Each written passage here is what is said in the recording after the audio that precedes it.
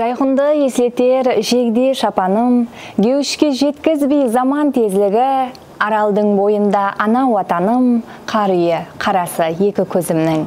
Тарих бұл келешек өзім өзлігім. Ассалаумағалейкум қарақалпақ халқының мілдейлігіне мұхаббаты бөлек әзиз атв телеканалымыздың тұрақты ықыласпенділері бәршеңізге қайырлы кеш. Бүгін әптенің шембі күні сез тұрғаныңыздай өзлігім көрсетуінің кезектегі саны сіздің пайызлы шаңырағыңызда мейманда. Әлбетте көрсетуіміздің тек арғы мақсеті қарақалпақ халқының үрп әдет дәстүрлерін мілдейлігін атадан балаға мирас болып қалған ойларын қала берсе қарақалпақ халқының ұлы малық тарихын сөз етуші көрсету болып есептелінеді әлбетте біз көрсетуіміздің әрбір санында қарақалпақ халқына тән болған бақалы мағлұматлар сіз әзизлерге бөлістіріп бармақтамыз. Әлбетте біз көрсетуіміздің алдыңғы салаларында да қарақалпақстан республикасында жайласқан үлкен үлкен музейлер хақында сөз еткен едік. Демек бүгін де көрсетуіміздің кезектегі санында қарақалпақ халқының музейлері яғни археологиялық табылмалар хақында сөз етеміз. Демек қазіргі нәубетті болса біз ерлі зайыплы әмет һәмде айымхан шамұратовлардың үй музейі хақында сөз етеміз. Мархамат.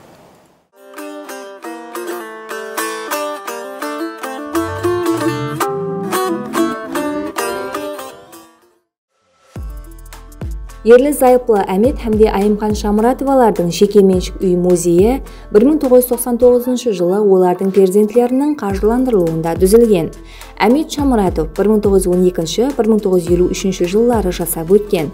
Жазушы шайыр һәмде драматург. Ал оның зайыбы болса айымхан шамұратова 1917-1993 жылдары жасап өткен. Қарақалпақстан халық артисткасы. Қала берсе қарақалпақстан тарихында театр сахнасында шыққан дәсілепкі хаял қыздардың бірі болған. Олар 20 ғасыр қарақалпақ мәдениетінің рауажландыруында айтарлықтай рөл ойнады. Музей коллекциясы ерлі зайыптылардың жеке затлары сахна киімдері фотосуретлері қолжазбалары кітаплары хатлары ескі бұйымдардан ібарат. Сондай ақ бұл жерде қарақалпақстанның атақлы жазушылары артистілері мемлекеттік іскерлердің фотосюжетлері және де мадгазин мативосян бердімұратов һәм тағы басқа белгілі художниклердің картиналары сақлаулы тұрады. Музейде айымхан шамұратованың атқаруындағы қосқыларды тыңлауға да болады.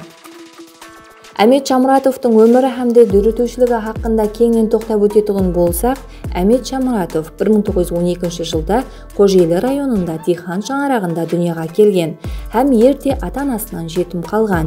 1926 жылға шекем ескі мұсылман мектепте 1926-1930 жылдарда жұмбайдағы коммуна мектепте оқыған кейіннен оренбургтағы қазақ мектепте оқуын дауам еттірген. Минет іскерлігін басланғыш класс оқытушысы ретінде бастайды. Участка инспекторы қожелі район комитеті хаткері лауазымдарында істеген 1938 жылда ол москва ветеринария институтына оқуға кіреді. Ол жерде 1933 жылдан 1936 жылға шекем оқып дерлік бүткіл кейінгі тұрмысы дүретушілікпенен байланысылы болады. 1938-1940 жылдарда қарақалпақстанда көркем әдебиет бөлімінде басшылық етеді.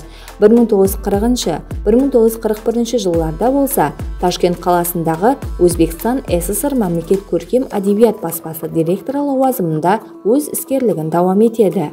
Әмет шамұратов үшін ең нәтижелі жұмысы халық комиссарлары кеңесі басшылығының орынбасары ретінде іскерлігі болып ол жерде материалдық іліми мекемелер дөретушілік шөлкемлер һәмде халық тәлімі іскерлігін қадағалау болып барлық жөнелістерменен белсенді шұғылданып барған. 1945-1947 жылдарда болса ташкент қаласындағы өзбекстан мемлекеттік көркем әдебиет баспасы директоры болады әмет шамұратов 1945-1947 жылдарда қарақалпақ тіл һәм әдебиет іліми іздетлеу институты директорының орынбасары министрлер советі жанындағы көркем өнер бөлімі басшылығы лауазымдарында істеген. 1947-1950 жылдарда москвадағы жоғары партия мектебінің студенті болады.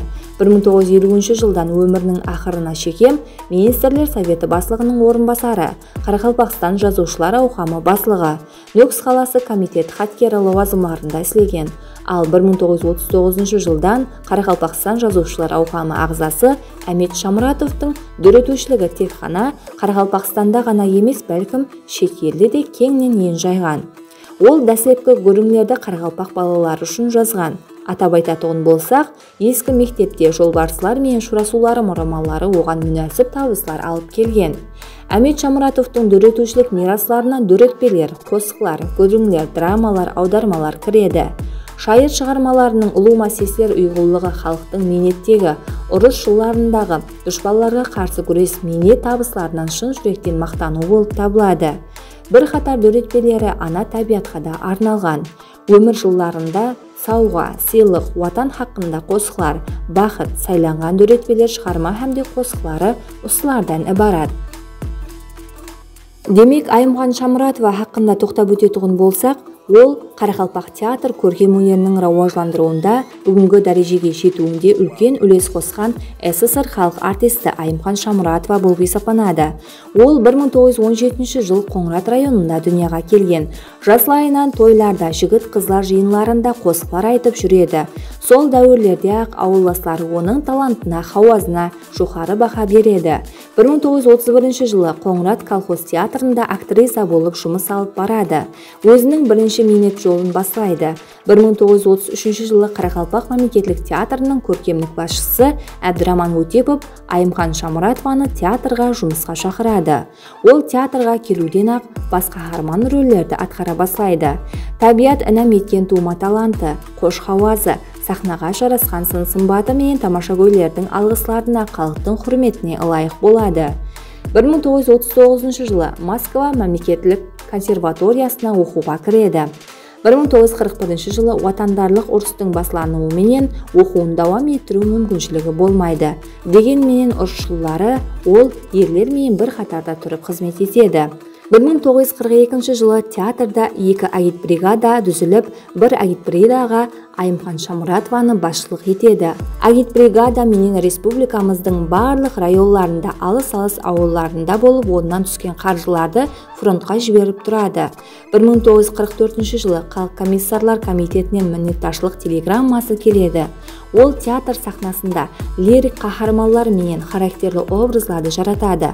Атап айтқанда сейфулғабит мажитовтың бағдагүл драмасында бағдагүл яшиннің гүлсара музыкалы драмасында гүлсара асан бегеновтың алла назаровлардың ғарып ашық музыкалы драмасында шахсанем нәжім дәухараевтың алпамыс музыкалы драмасында гүлпашын жолмырзай мырзаевтың раушан драмасында раушан айгүл абат музыкалы драмасында дәмегүл сапар қожаниязовтың талуаз комедиясында айбике шыңғыс айтматовтың ана жер ана драмасында толғанай мәтмұратовтың бір үйде екі өмір драмасында хамре рөлдерін кәміне келіп ойнайды. Оның минетлерін болса өз уақытында жоғары бағалап барды.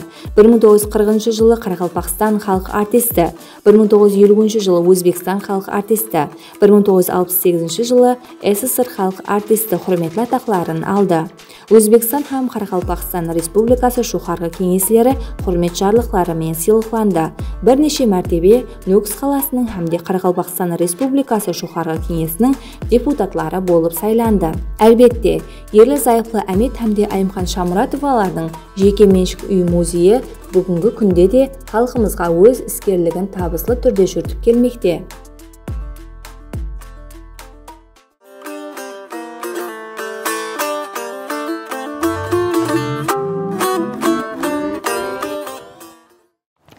Демек әзиздер өздеріңізбенен біргелікте шайыр жазушы драматург әмет шамұратов және де қарақалпақстан халық артисті айымхан шамұратованың жеке үй музейі хақында кеңінен таныстық. Һәм осы орында болса сіздерменен мойнақ районында жайласқан экология музейі хақында да кеңінен сөз жүртпекшіміз мархамат.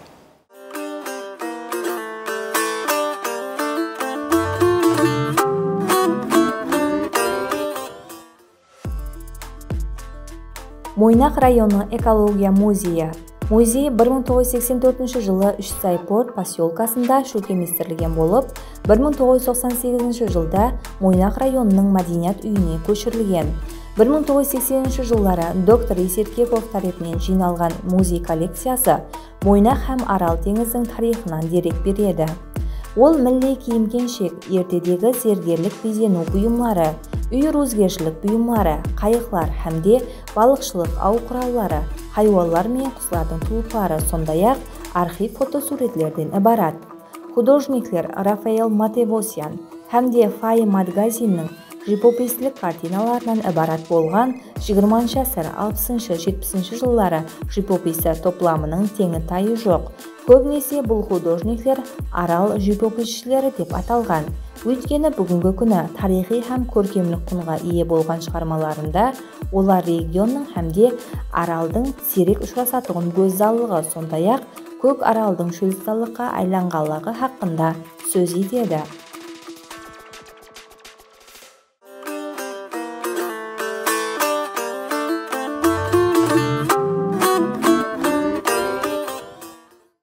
Өзлігін көрсетуінде көріп тамаша қылып жатырғаныңыздай музейлерде тек қана қарақалпақ халқының үрп әдет дәстүрлері емес бәлкім әйемгі ата бабаларымыздан қалған милли киімдердің тарихы. Қала берсе ескі бұйымларымыз сондай ақ зергерлік бұйымлары хақында өздеріңізбенен кеңінен сөз жүрттік. Демек қазіргі нәубет болса көркем өнер академиясы хақында да кеңінен пікір жүргізбекшіміз мархамат.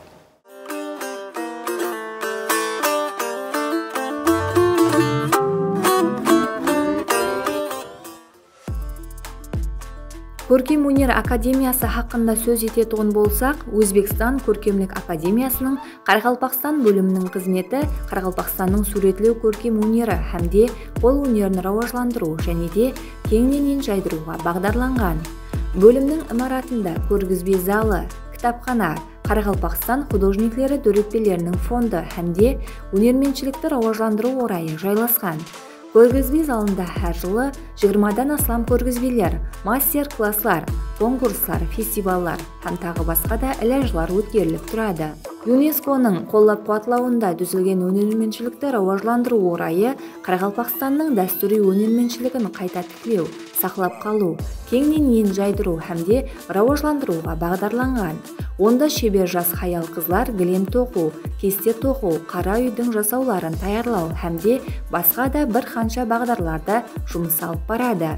Сондай ақ қарақалпақстан һәмде өзбекстанның жетекші өнерменшілері тарапынан әрқилы оқу программалары жүзеге асырылады.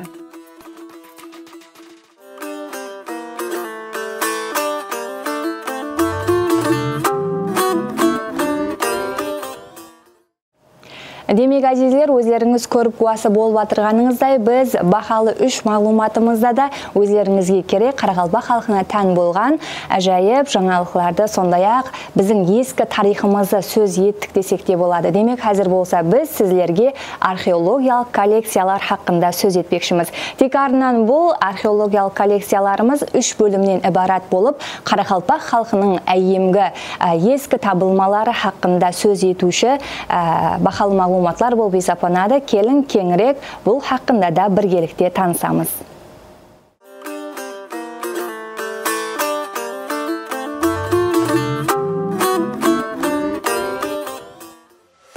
Археологиялық коллекция хақында сөз ететұғын болсақ өзбекстан республикасы ілімнер академиясы қарақалпақстан гуманитар ілімнер ілім іздетлеу институты жанында қызықлы археологиялық табылмалар экспозициясы шөлкеместірілген. Коллекция экспозициясы тикарынан үш блокқа ажыратылған. Біріншісі арал каспий шөлі районларынан табылған археологиялық материалдарды өз ішіне алады.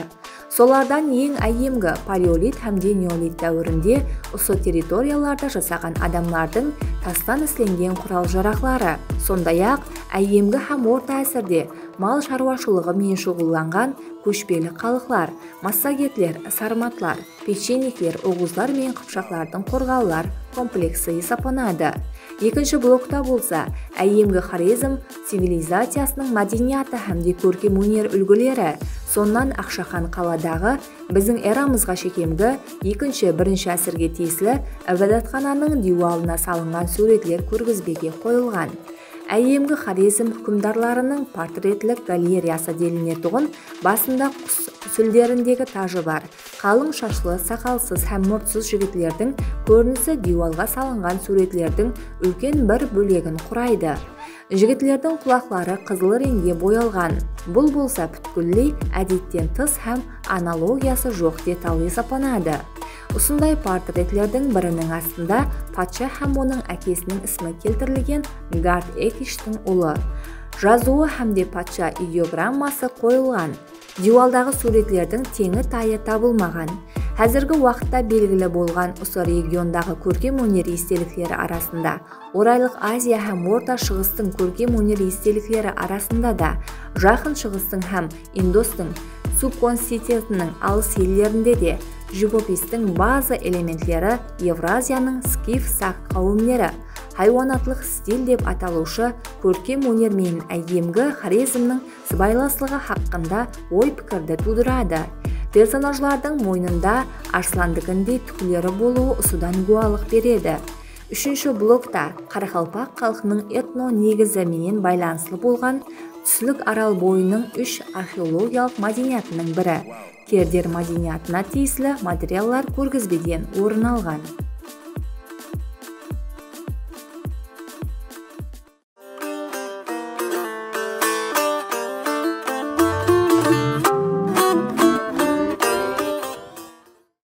Біздің тарихымыз келешегіміздің тикары есептелінеді біз тарихымызды білмесек келешегімізді құра алмаймыз деген даналарымыздың пікірлері де жоқ емес солай екен біздің көрсетуіміздің басты мақсаты тарихымызды келешек әулетқа бүтіндігінше жеткеріп беру өзігім көрсетуінің бүгінгі санында да сіздермен жайып мағлұматларды бөліскенімізден шексіз қуанышымыз әлбетте көрсетуіміздің кезектегі санларында да бір бірінен жайып қарақалпақ халқының ескі тарихы хақында сіздерменен сау саламатлықта көріскенше дейміз һәм осы орында болса көрсетуімізді түсіруге жақыннан жәрдем берген.